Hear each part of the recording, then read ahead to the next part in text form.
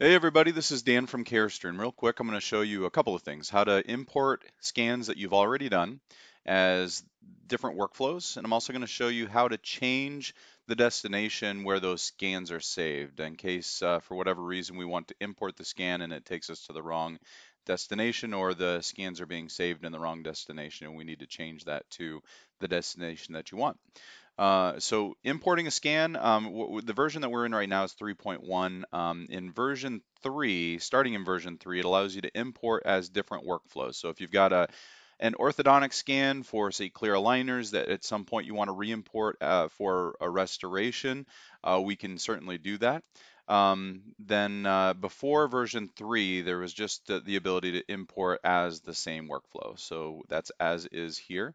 So we're going to click on as is and the, the default destination for the raw scans is going to be in the raw scans folder on the desktop. So we're going to navigate to the desktop and then we're going to find our raw scans folder right here. So then we have our files are listed by patient name and then also the date and time that those scans were taken. So uh, we're going to match up the scan what we want with the patient name and then the date and time in case you have more than one scan.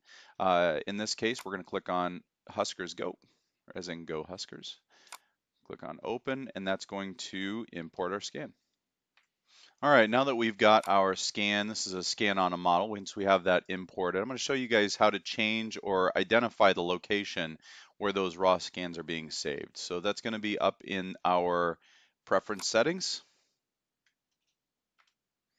And then we're going to go down to our save icon, the disk here, and it says auto save CSZ files. I have found sometimes when those raw scans aren't being saved, then this has been toggled off. So if you find that your raw scans are not being saved, go to the settings, our disk, click on this icon, and that'll turn that back on again.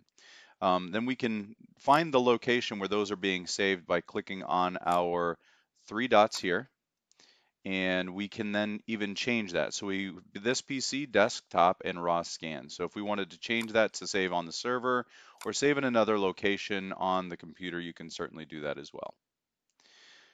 And that is how you import and check the where they are being saved. Hope this helps out.